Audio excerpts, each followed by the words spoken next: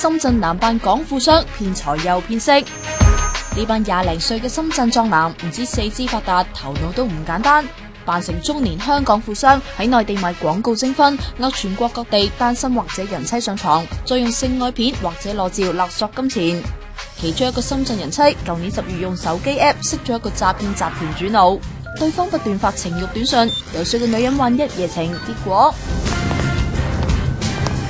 过程仲被拍低，之后个男人用条片勒索八千蚊人仔，